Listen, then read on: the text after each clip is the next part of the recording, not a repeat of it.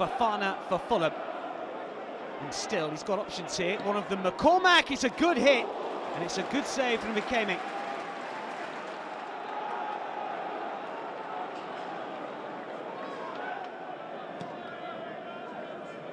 Long towards Woodrow. Stafylidis has got some space over on the left-hand side here for Fulham. Plenty forward. Is towards Woodrow. That's a really good header, and Fulham take the lead. 27 minutes in, his third of the campaign. Fofana. Scott Parker coming forward.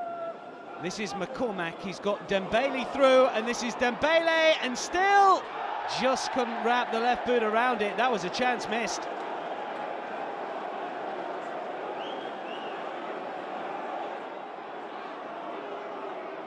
Edwards. Dicko. Edwards has continued on his way, but Dicko still has possession. No angle for a shot just yet. He struck one though and he's hit the crossbar. Edwards with a follow-up and blocked. Real chance for Wolves. So, so close.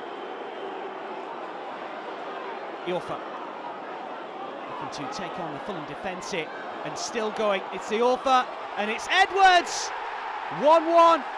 Just under 20 minutes remaining, a fourth of the campaign, and we're all level at Molineux.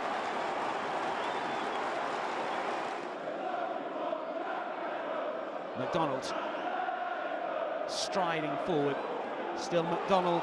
This is Van La Parra. That's a delightful touch, and it's got in. What a turnaround for Wolves. A first goal since switching from Heerenveen for Van La Parra. Grimmer.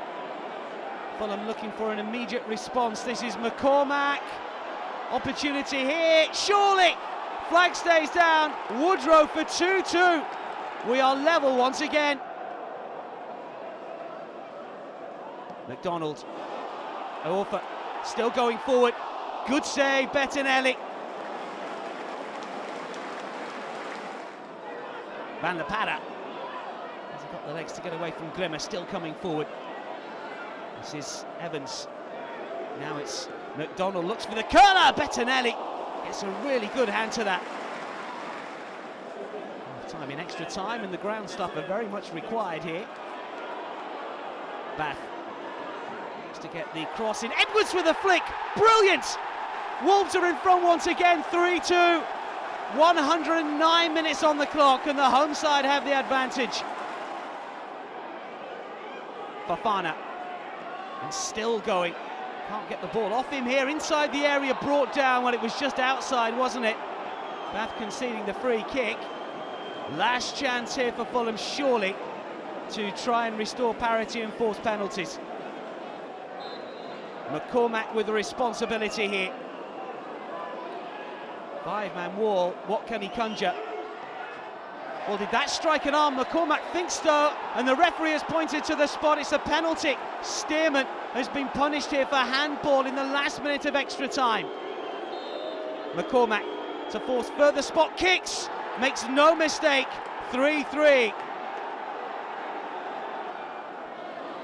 Matt Doherty for Wolves to level the shootout up at 2-2. Oh, he's put it horribly wide. Advantage Fulham. Hugo Rodallega has the opportunity to send Fulham through to the fourth round of the FA Cup. Blasted into the top corner. Sunderland awaits for Kit Symons' side. A dramatic penalty shootout win for the Cottagers.